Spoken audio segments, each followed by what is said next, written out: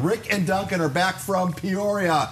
Allie and Stone are now there, leaving Matt, Mike, and Danielle to help with a 17 game prep playoff lift. Quickly, recite your uh, high school alums. Matt. Proud member of the West Hills Wolfpack. Danica. Helix Islanders. Michael Millburn. La Costa Canyon Mavericks. All right, are you ready? Aye, aye, oh, captain, my captain. All right, we'll start with the Open Division quarterfinals. Five seed Mount Miguel visiting four seed Torrey Pines.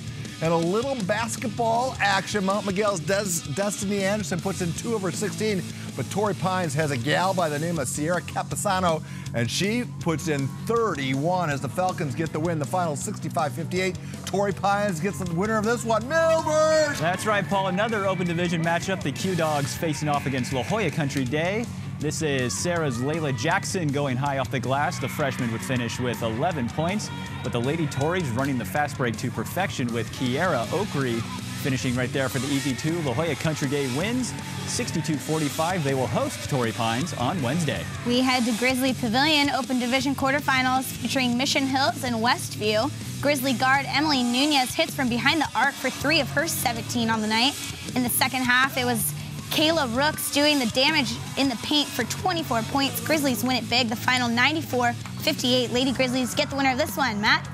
All right, more open division. Poway at Bishops. Lady Knight Destiny Littleton is going to get the steal and then put in the bucket for a game high 32 for her. And then her teammate Alessandra Aguirre sets a CIF record for threes in a season, 135 on the year for her. Bishops wins it 78-40.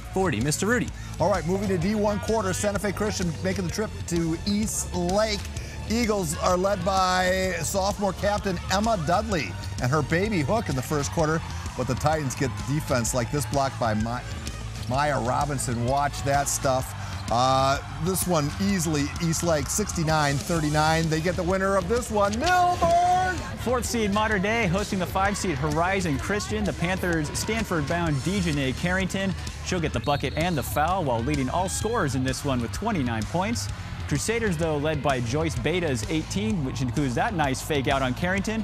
Horizon, though, they're just too much in this one as they go on to win 56-46. Danielle. D3 matchup, Hilltop hosting Valley Center. Coach Gendra looking for crew in 572. First play, Hilltop's Brittany Gafferi finds her sister Brianna for an easy basket. Then it's Aslan Arias with the steal and the layup, leading the Lancers to the win. Congrats, coach. The final 59-31 Hilltop. They face Lincoln on Tuesday. A D4 playoff battle, one seed Grossmont hosting High Tech High of North County. First quarter, Grossmont Simone Griffith gets the steal and finds Emily Barnes for the layup. Then third quarter, Taisha Silas is going to pull up and hit her fourth three-pointer of the night, a game high 27 for her. Grossmont wins it 66-42. Papa Pig. Gee, that should have been worth four points. Uh, to the pitch now, D1 soccer, top-ranked Del Norte hosts the eighth-seeded San Marcos, tied at one. Del Norte freshman Megan Donovan scores the go-ahead goal. The Nighthawk senior Dory Mall scores to extend the lead to 3-1. Del Norte advances to the D1 semifinals on Tuesday where they get the winner of this one, Millburn. That's right, more Division One quarterfinal action. Poway taking on the fourth seed Westview. What we have here is a defensive battle. This is Westview keeper Jordan White with the save. Poway keeper Brendan Seaver. Well, she'll stop this one right there as well. We go 0-0 into overtime, and that's where Poway's Amanda Zemper puts it away on the final penalty kick. Poway gets the 1-0 win. Miss Norman. We head to the coast. La Jolla facing Point Loma Pointers We're scoreless into the second half. Point Loma's Jordan Patanye finds Abigail Bates, who heads home this goal.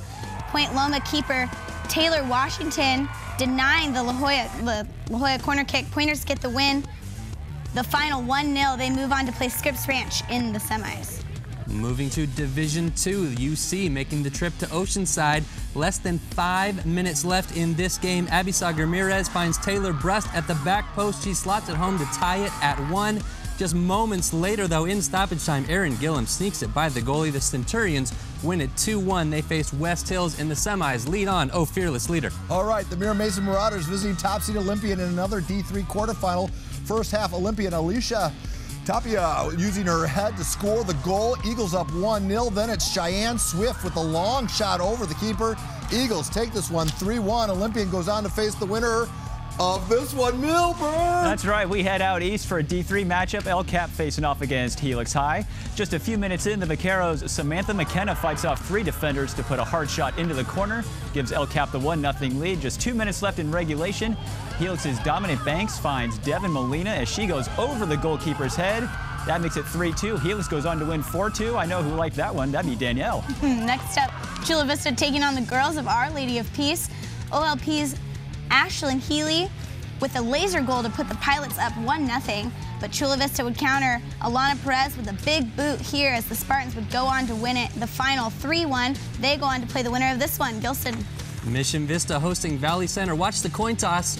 Aaron Rodgers would not be happy about that one. Second half, Mission Vista's Miranda Hall corner kick to Shayla Cottrell, and she gets it into the goal to win it. The final 1-0 Mission Vista.